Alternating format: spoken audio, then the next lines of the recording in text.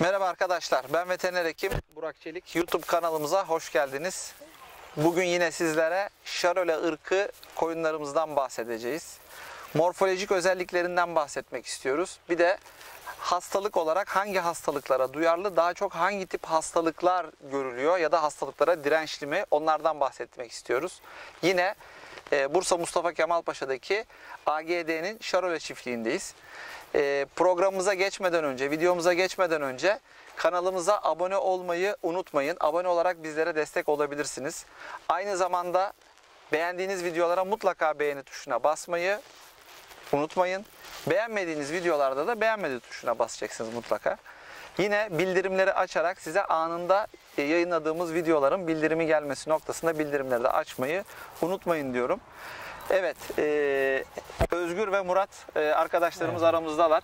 Sizlerin çiftliğindeyiz. Bizleri kabul ettiğiniz için önce teşekkür ederiz. Hoş geldiniz. Sağ olun. Ee, geçtiğimiz günlerde de yapmış olduğumuz programlarda Şarole ırkından biraz bahsettik. Evet. İthalat süreçlerinden bahsettik. Genetik kapasitelerinden bahsettik. Özelliklerinden, doğum, süt, et özelliklerinden bahsettik ama bu programda da Şarole koyunların genel morfolojik özellikleri yani dış fiziksel Evet. özellikleri nelerdir?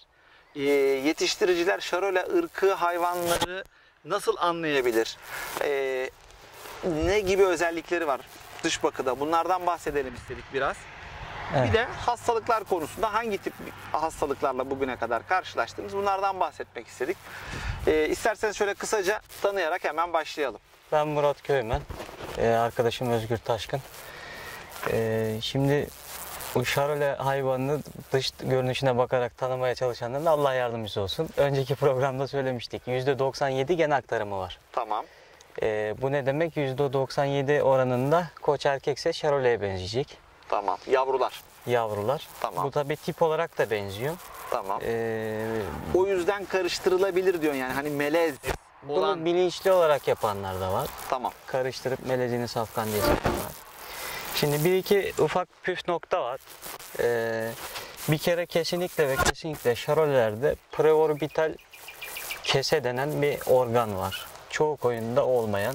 Tamam. Şimdi dediğin çok güzel söyledim. Ben anladım. Evet. Veteriner hekim olarak. Preorbital dedi. Gözlerin Yani- altında Evet. Göz küresinin içinde, gözlerin altında içeri doğru bir oyuk vardır. bir oyuk vardır. Bunu dışarıdan Kulak gibi dışarıdan gözüküyor. Ha gözükür mü? O oyuk gözüküyor Tamam. net bir şekilde. O Geyiklerdeki da- gibi. Şurada bırak be şöyle. Tamam. O oyuyu arkadaşlarımıza videomuzda mutlaka gösterelim. Bu bir.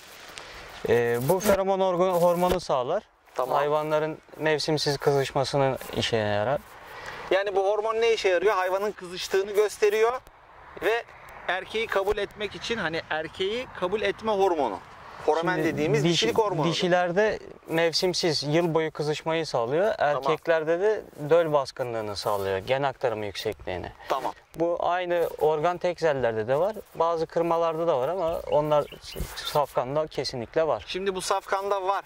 Evet. Kırmalarda bazılarında var, Çıkabilir. bazılarında yok. Çıkabilir. Çok Bazı bir na- Evet. nadir bir şekilde şimdi bu e, koyunun oluşum sürecinde tarihsel yapısında ilk koyunlarda olan bir organ sonradan kaybolmuş. Hmm. Bu or- organ e, bir şekilde bu şaroley ve tekzelin üretiminde tekrardan ortaya çıkmış. Yani Hmm. melezleme aşamasında. Safkan aşamasına yani bir saflık- genetik mutasyon, bozukluk aslında. Tamam. Normalde bir geyik organı bu. Evet. Geyiklerde. Geyiklerde oluyor daha Görülen ziyade. bir organ. Koyunlarda nadir olur. Çok nadir. Yerli koyunlarda milyonda bir anca olur yani. Tamam. Ama e, bu ırkta, Şarole ırkında Kesinlikle olur. safkanların hepsinde Kesinlikle olur. var. Bu bir. Kulak, Ayırıcı. kulakları mutlaka dik olacak. Ee, ve hayvanların arka butları incikten sonrası kalın olacak. Hı hı. Şimdi bu da miyotin hormonuyla alakalı. Bu hayvanlarda miyotin hormonu var. Bu şarolelere hastır. Evet. Başka hiçbir ırkta yoktur. Ee, çift kas diye yanlış bilinir ama aslında o değildir. Et yapısını biraz daha kuvvetlendiren bir şey. Evet. Ee, kan testiyle ortaya çıkabilir. Şüphelenme durumlarında kan testi yaptırabilirler. Tamam. Nereye yaptırabilirler? Bir yer var mı yani bildiğiniz? Üniversiteler yapıyor diye biliyorum. Tamam. Üniversiteler, veteriner fakülteleri, ziraat Evet, fakülteler yapıyor. Tamam. Üniversiteler bunu Zaten yapıyor. e, ithal getirildiği getirileceği zaman Hı. Devlet de bunlara kan testi yapıyor. Öyle mi? Safranlık testi. Tabii. Tamam. O testi almazsa gelmiyor. Tamam. Şimdi ama eee, onun dışında mesela bu hayvanlar hakkında, şöleler hakkında eee, Türkiye'deki şöle algısı pembe suratlı. Hı. Burada ben bir yanlış düzeltmek istiyorum. Tabii. Eee, pembe şöleler en yaygın olanları. Tamam. Şimdi önceki programda da bahsettik. Şölenin melezlenmesi 300 yıl sürdü ve yüzden fazla koyunla melezlendi. Anladım. Ve melezlenmenin bitişi yakın bir tarih. O Kaç, yüzden mesela 1700 müydü demiştin? 1970'lerde 1970. bitti melezlenme. E, İngiltere'deki şölelerin çoğu mesela beyaz surat üzerinde siyah beneklerdir. Beyaz surat üzerinde Siyah benekler. siyah benekler. Evet. Bu siyah benekli olanlardan var değil mi? Sürümüzde. Bizde bir iki tane var. Tamam bir iki tane var. E, mesela Onu da yetiştiricilerimize gösterelim ki en azından tamam, e, hani nasıl bir şey olduğunu bizzat evet. gözüyle görsün. Pembe surat mesela nasıl bir şey? Şimdi pembe suratlar genelde Roche de East kanı ağır basanlar. E, batı kırmızısı denen bir ırk var Fransa'da. Bu adaptasyon sorunlu bir hayvandır aslına bakarsanız. Yeni Zelanda'dakiler mesela şaroliler siyah kafalı. Evet. O da Blue de Maine kanı ağır basanlar. Evet. Ya bu 100 tane bir hayvan var. ama olmazsa olmazları bir miyotin olacak, bir preorbital kesi olacak. Bunu da kan tahlili anlayabilirler safkanla. Tamam. Yani morfolojik, fizyolojik dediğimiz Evet. özellikler bunlar e, ırka has özellikler. Gözleri bir de dışa doğru çıkık olur. Biraz salyangoz gözlü gibi olurlar. Evet. Bunlar e, özellikleri. Evet. Şimdi bugüne kadar bir yıllık bir süre içerisinde çiftliğinizde şarole ırka hayvanlar olduğu için e, ne tip rahatsızlıklarını gördünüz? Şarole ırka hayvanlarda en çok gördüğünüz hastalıklar. Şimdi sadece Charolais has değil, bütün ithal hayvanların eee beli Türkiye'deki hastalıklara karşı direnci sıfır. Tamam. Bu önemliydi. İthal olan hayvanların Türkiye'deki hastalıklara karşı Evet. dirençleri çok düşük. Sıfır. Bu yüzden Yok, yok direnci hiç. Avrupa'da çünkü çoğu hastalık yok. olmadığı için hastalıktan ağrı olduğu için Evet. Avrupa ülkeleri bu hayvanlar da o hastalıkla, o mikropla hiç karşılaşmıyor. Evet. Aslında doğal bir bağışıklık sistemi dediğimiz bir şey var. Yani Gelişmemiş henüz. evet normalde e, bulunduğumuz ortamda ne kadar çok mikrop yükü fazla olursa biz de o mikrop yüküne doğduğumuz andan itibaren alışmaya başlıyoruz. Bu da bağışıklık sistemini güçlendiriyor o mikroba karşı. Ama bazen seyahat hastalıkları deriz. Mesela seyahat ederiz. Almanya'ya gideriz, Fransa'ya, İtalya'ya ya da işte Çin'e gideriz, şuraya buraya gideriz, Amerika'ya gideriz. Gittiğimiz zaman dikkat ederseniz giden insanların çoğunda bir e, rahatsızlık yani bir mide bulantısı, Baş ağrısı. ishal, baş ağrısı gibi rahatsızlıklar olur. Bunların en büyük sebeplerinden bir tanesi de o bölgedeki mikroorganizma yoğunluğuna alışık olmamamız. Evet. O, o yoğunlukla, o mikroorganizma ile karşılaştığımız zaman vücudumuzun verdiği bir tepki. Evet. Şimdi Türkiye'de birçok hastalık görülüyor. Hastalıktan ari bir ülke değiliz. Evet. Birçok hastalığın işte şap hastalığının, mavi dil hastalığının, Çiçek çiçek, hastalığı. hastalığının görüldüğü bir ülkeyiz. Bu açıdan bu hastalıkların aşıları bizim hayvanlarımıza yapılıyor. Evet. Doğru mu? Tabii. Böylece hayvanlarımız hem doğal olarak alışıyor hem de aşılama yoluyla hastalıklara karşı direnç geliştiriyor. Ama yurt dışından gelen hayvanlarda ne doğal bağışıklık var ne de orada aşılanmış. Tabii, aşı Buraya yapılmış. geliyor. Ve bizim burada görülen hastalıklara Çiftliğimize karşı geliyor. çok e, direnci düşük. Yok denecek kadar. Şimdi ithal getirenlerin hep anıları vardır. Ya Evet. bizim bir arkadaş ithal getirdi 80-100 tane koyun hepsi birden öldü. Evet. Ölür. Aşılarını yapmazsanız, e, meraya salarsanız, Bir de o bir an hastalığı önce yapmanız alırsa- lazım. İşletmeye Tabii. geldiği gibi neredeyse. Birincisi aşılar yapılmadan kesinlikle meraya salınmayacak. Ertesi gün. Evet.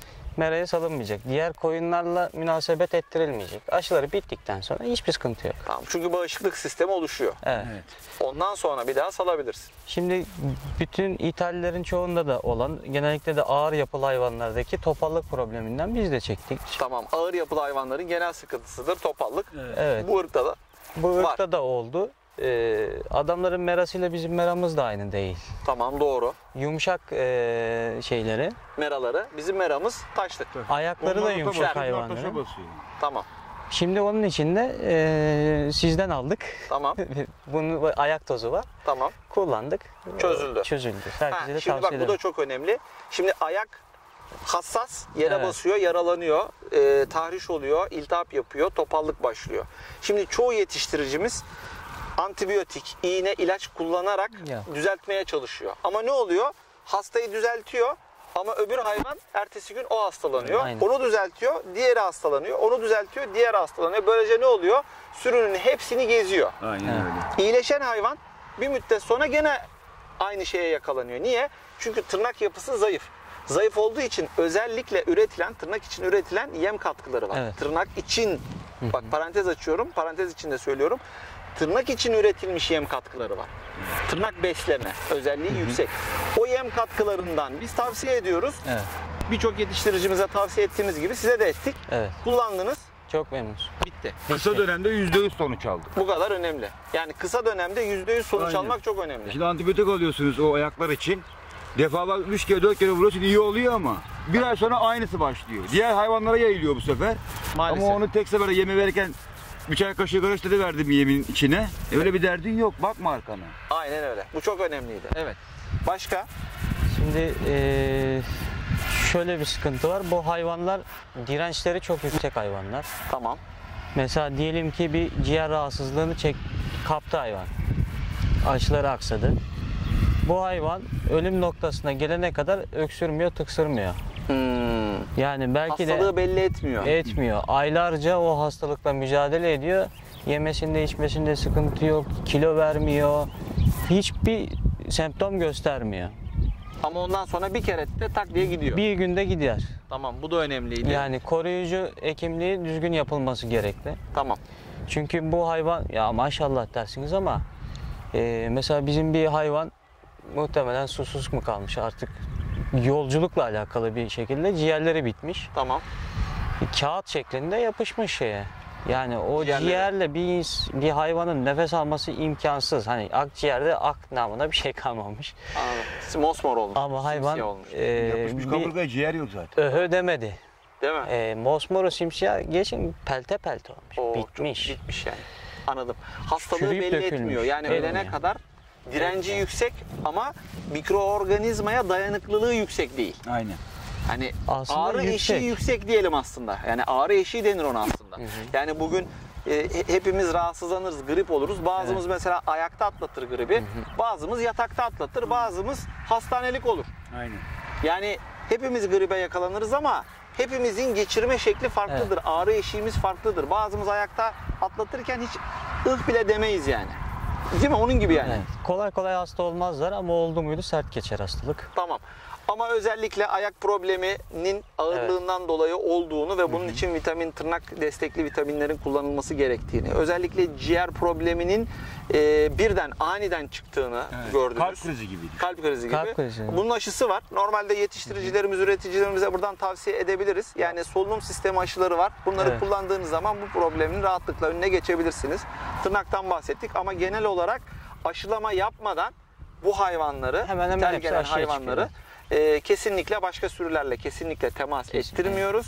Meraya kesinlikle ve kesinlikle salmıyoruz. Kendi meranız bile olsa. Evet. Çünkü başka mera olursa Biz Şimdi- buraya çıkartmadık mesela. Burası kendi meramız. ama ondan sonra aşılar bittikten Merada- sonra tabii çıkardığınız çıkar. hiçbir Merada sıkıntı yok. değil yani yurt dışından o kadar para veriyorsun getirtiyorsun bu hayvanı. Bir zaman aşısını yap abi ya. Yani meraya göre de değil. Evet. Aşısını yapmazsan büyük sıkıntı zaten. Değil mi? Meraya o kapalı yapacağım. Ben, Aşı çok önemli. Aynen. Şimdi Aşı şart. hocam biz bu hayvanları getirdik.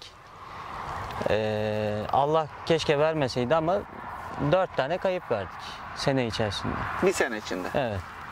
Şimdi bir arkadaşımız getirdi. 200 tane getirdi. S- 80 bir parti kayıp verdi. Oo, çok 100 yüksek. küsür bir parti kayıp verdi. E, hayvan kalmamış. Kalmadı. Yani neden? Ben Facebook'ta da takip ettim. Arkadaşı aradım ama telefonlarımı açmadı. Meraya salmış hayvanları gelir gelmez. Tamam. Sebep belli. Sebep belli. Hani bu hayvanda suç yok. Bizimkiler niye ölmedi? Tabii. Yani ne, ne yaparsan yap, Aşı şart. bilinçli Kesinlikle. yap, bilerek yap. En azından bilmiyorsan bir bilene danış. Aynen. Öyle yap. Muhakkak. Aynen. Evet çok teşekkür ediyoruz. Çok Evet. sağ olun. Bugünkü sağ ol. programımızın da sonuna geldik. Yani zaman çok su gibi akıyor. Programlar hızlı hızlı bitiveriyor. Evet arkadaşlar bu haftaki bugünkü programımızın da sonuna geldik. Bir sonraki programda görüşmek üzere diyorum. Hoşçakalın, esen kalın ama program bitirmeden önce kanalımıza abone olmayı, bildirimleri açmayı ve beğendiğiniz videolara mutlaka beğeni tuşuna basmayı unutmayın diyorum. Hayırlı günler diliyorum.